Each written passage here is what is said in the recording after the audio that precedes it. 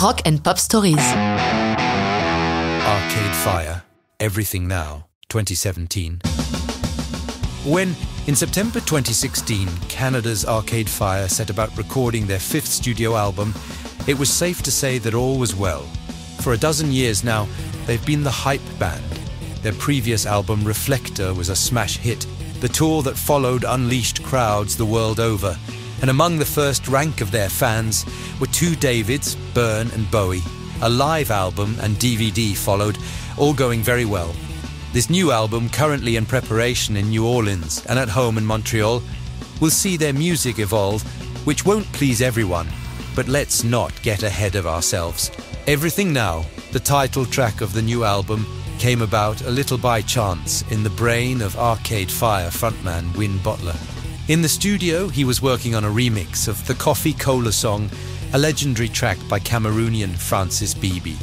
Win being friends with his son, Patrick Bebey. Butler explained, it ended up being a song in its own right.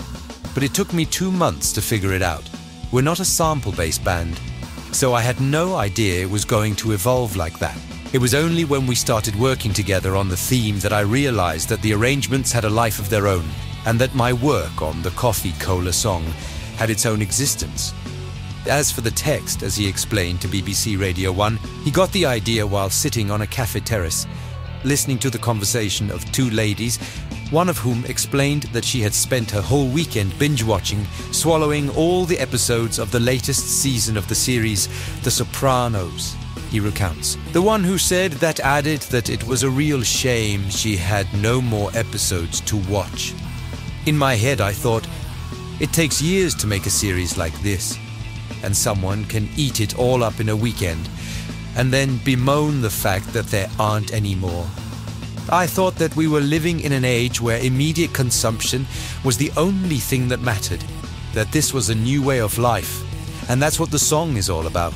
In the studio, Steve Mackey, the bassist from Pulp, and Thomas Bangalter, half of Daft Punk, are on production duties with Bangalter also providing the synthesizer parts, while Patrick Bebey plays the flute on the theme from the Coffee Cola song, bringing the album full circle. Everything Now is released as a single on May 31st, 2017, and the song takes the Label One spot in the US. The album was released two months later, dividing the critics, some of whom loved it, others deeming it inferior to their previous productions, as a result, the North American tour that followed didn't sell out, while Europe was a triumph, but that's another rock and roll story.